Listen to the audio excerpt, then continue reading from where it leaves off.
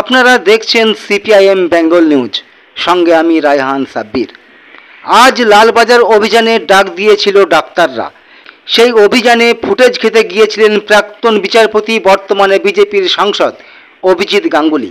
সেখানে যাওয়ার পর তাকে ডাক্তাররা গো ব্যাক স্লোগান দিয়ে ফিরিয়ে দেন। আপনারা দেখে নিন সেই মুহূর্তের ভিডিওটি।